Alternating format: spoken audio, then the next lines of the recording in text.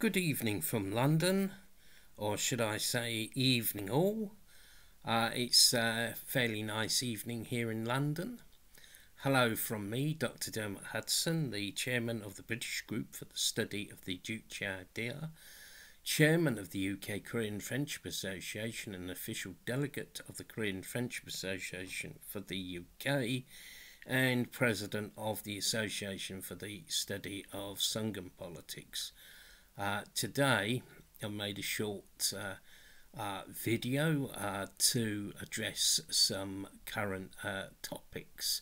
Uh, firstly, last week on the 13th of August, the 16th meeting of the Political Bureau of the Central Committee of the Workers' Party Korea took place at which a number of issues uh, were discussed. Uh, but uh, so top of the agenda was uh, COVID 19 and the flood uh, damage in the DPRK. And uh, respected Marshal Kim Jong un, the chairman of the Workers' Party of Korea, said that the DPRK would not accept outside aid for the uh, flood uh, damage, and I think this was an absolutely uh, correct uh, decision. Uh, the DPRK, with its Juche based socialist system and self reliance, uh, will recover from the flood damage by its own efforts. it is indeed true that accepting outside aid could uh, result in the intrusion of the deadly COVID 19 virus uh, into the uh, country. And moreover, uh, the, the imperialists always tried to use aid uh, to undermine socialism, to uh, strangle socialism. Secondly, uh, yesterday on the 19th of August, the sixth plenary meeting of the seventh Central Committee of the Workers' Party of Korea took place. Uh, it was a, uh, attended by uh, many uh, many uh, people because plenary meetings of the Central Committee of the Workers' Party of Korea are a bit like a party congress. The plenary meeting took the uh, momentous and epoch making decision to hold the Congress of the Workers' Party Korea in uh, January 2021 and this will be the eighth Congress of the Workers' Party Korea. And it will decide on a new five year plan. Now, the supreme principle of the Workers' Party at Korea is the improvement of people's living standards, and indeed, this is the supreme uh, people um, supreme principle of the DPRK. Uh, it's actually in the constitution. So any shortcoming uh, in uh, towards in achieving that goal uh, should be taken very seriously. It's not uh, a mere academic issue, it's a very serious one. So, uh, the report of the decision uh, to hold the 8th Congress of the Workers' Party of Korea uh, did uh, say that there had been uh, shortcomings in, you know, in achieving sort of economic goals.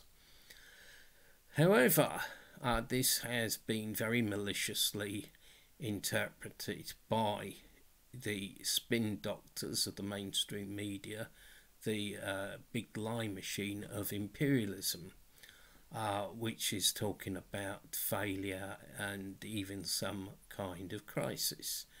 Uh, this is uh, false uh, you know, the DPRK is simply try, uh, you know, addressing shortcomings. It's going to look at where party policies have not been implemented, and it's going to take measures to rectify the situation.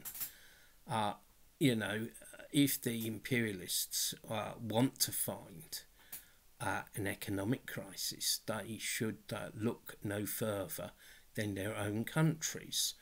Uh, for example, recently in Britain, Debenhams, a major retailer, went into liquidation, uh, threatening 14,000 jobs, and uh, economic output in Britain is down by 20%. Uh, however, uh, you know, not one shop in People's Korea has closed down. Has the Pyongyang department store number one gone bankrupt and closed down? No, it hasn't. Uh, media reports from the uh, DPRK have uh, shown that the shops are well stocked, and indeed, uh, delegations of our organisations have visited the DPRK in 2018 and 2019, and we didn't see any obvious effect of sanctions on the uh, DPRK economy. Uh, the shops seemed well stocked. They had many domestic products in them, and uh, prices were unchanged between 2018 and 2019. We should stress uh, that the DPRK's economy is a planned socialist economy. Uh, it is not affected by capitalist crisis. It is free from the contradictions of uh, capitalism, and is free from the anarchy of the market.